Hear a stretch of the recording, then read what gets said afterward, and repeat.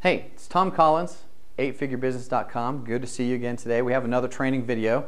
I uh, hope you like this one. This one, put your filters on. I'm going to say something that a lot of you entrepreneurs don't want to hear um, because we've all built up this natural resistance to it. But today's training actually comes from MBA school. Okay, so stay with me. I promise it's going to be good. But the, the problem, here, here, here's today's topic. It's, it's the problem with tools. And it's really kind of the, the shiny object syndrome with tools, to be, to be honest with you. I get so many people who come up to me at conferences and say, hey, Tom, you know what? I have this tool, this tool, this tool, and this. And here's my target market. What do you think? And I think I say, well, gosh, what's what's your business? What's you know what's how's it flow? So let me let me get into some of that conversation as well. The other scenario that I get is I have people who say, hey, you know what? I'm thinking about doing a membership thing. Should I buy this membership program or should I buy that membership program? And my first answer is at this point, I don't really care. There's a lot of good ones out there. What's the best fit for you? And that's when they give me the blank stare of, I don't know. What, what do you mean? What's the best fit for me? That's why I'm asking you, dude. So here's typically the process that I take them through. So what I'm going to do is, is give you the MBA school training, and then we're going to apply it to, to three things. Lead generation and selling, um, uh, this membership idea, and then a, uh, a, CRM conversation that I, that I had recently. So, so it's what it's called. It's called strategy, structure, process, tools, right? So let me take you through the PMI model uh, and how we apply this to our, our business. So when we got leads to sell our core offer of coaching, right? So we always wanted A leads. We wanted the top quality leads.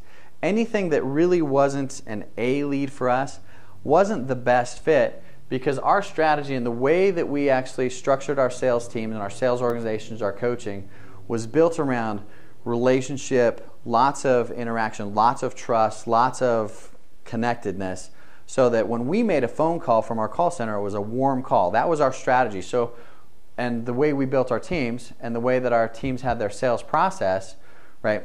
Strategy, structure, process, tools, then how we sold, what we sold those clients, what we used to communicate with those clients. You know, people would say, hey, what email autoresponder do you use? Well, depending on the lead source, and their relationship with them, it did it it, it changed from from account to account, right? So uh, let's go through the, the membership example. It might be a better example. So someone says, "Gosh, Tom, I'm looking at a membership tool, right? What should I use?" Well, gosh, how are you bringing people in? How are you how are you structuring your offer, right? So what's your selling strategy? What leads are you going to? What niche are you in? right? What's your what's your overall model? Are you using call centers? Are you using TV? Are you using online lead gen? Everybody's using online lead gen. What type of online lead? Do you have warm leads? Are these existing customers? Are these new customers? Where does this fit in your overall value chain? You know, leads, core offer, back end. Is it a front end offer? Is it a core offer? Is it a back end offer? All those are the key questions of where this where this matters. If it's a front end and you're just having that be a stepping stone, maybe you don't want to invest a lot of money in it. Maybe it doesn't need all the bells and whistles. If it's a back end, it's got to just be feature rich and just uber everything.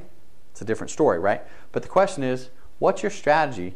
And then how are you structuring your core offer in your selling process? How are you structuring the membership? How are you bringing people into the membership? What are they expecting to get? What do you want to deliver to people? What do you want the outcome to be? Then, of course, you build that selling process, getting people in, what you deliver, and then you go, it's so easy at that point because you go, oh, here's how much money we expect to bring in, here's how much time and energy and effort we need to put into it to make it a really good, viable product. But that decision about membership software comes after all of these other decisions. What your strategy is, how you're going to structure your offer, the process you're going to use to get people into the system, and then it's the system. What do you want the outcome to be? So then you choose the tools uh, to use. So had another conversation um, with a, a marketing, uh, uh well, a company, a product company, they have a supplement, they want to sell it, they have the formula together, right? The celebrity, the formula, the really cool bells and whistles, the cool packaging, and they have no money. And that's a problem, right? So, what they're asking, first of all, is gosh, what CRM should we use? We're like, well, dude, you don't have any money. Let's start at that. What's your strategy for actually getting money so you can, you know, figure out what the structure of the business is, right? So what's the how are you going to run this? What's your sales process going to be? And so they've talked about all these dream things. Well, when we raise money, we're going to do all of it. Well, no, you're not. Nobody ever can do that. So what we've done is we've kind of drilled down and said, okay, the strategy is going to be XYZ with certain JV partners. We're going to license out some selling opportunities, right? So the structure of that becomes more of partnerships and relationships. The sales process, we're going to rely on our sales partners to sell the way they sell, and we're going to then provide them the, the tools to do that. What came out of it in the CRM was, you know what, we need a pretty strong, robust C- CRM, but the people we're working with have pretty good technical skills, so we can do something where it needs a little more programming, but what we really need is reliable um, database. We need a reliable server, reliable software that's going to work and so what we chose was something that was a little more affordable off the shelf that we could customize with our programmers and customize to each of our individual partners and wasn't really quite the plug and play um, thing that you you know you get off the shelf with, with if you're going to be a little bit smaller. So this one works very well in the CPA world. We're not going to go there, but we're going to be just kind of right there with a, still a pretty solid amount of volume. Um, but that was the decision making process of how we got to this CRM, um, and our costs are a little bit different, our structure is a little bit different, and yet we're not using the you know the 3,000 pound gorilla CRM that a lot of people are using because it doesn't really fit our model at this point. Maybe someday it will, maybe someday we'll grow up into it, but we're also not using the ease of entry does everything for small business because we are too big for that and we need more reliability for that. So we found the one right in the middle fits our needs, going to fit our partner's needs, gives us ultimate flexibility. But that decision making followed the strategy, the structure, the process, then the tools. Does that make sense? Anyway, I'd love to get your feedback on this one because I know a lot of people ask the questions of there's this new launch, there's this new software, there's this new thing. You know what? Make your decisions based on the way you're running your business, not so much on what the cool big shot that you're watching at conferences uses that's a really good clue because if they're using it, it usually works better than maybe something that you might choose with if you don't have any decision making basis.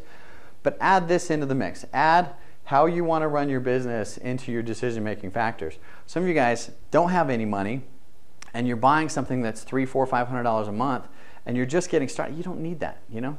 Eh, on an email autoresponder, Aweber, 20 bucks a month, 10 bucks a month, whatever. Get started and then ante up. It's always easier to do that or in vice versa, if you're going to run some pretty heavy traffic, you know, don't use the light tools that you know you might not you might blow up too soon. You know, there's a difference between guru media and mass media. If you're in the mass media world, use mass media tools. If you're in the guru world, all kinds of cool tools, lots of choices. There's a difference. Be aware of the differences. If you're not sure, ask. Go on the, you know, we're going to do comments below this video ask there. I'm sure there's other ways we, we're providing to, to give you access as well. So anyway, that's the end of today. Strategy, structure, process, tools, eightfigurebusiness.com. Talk to you soon.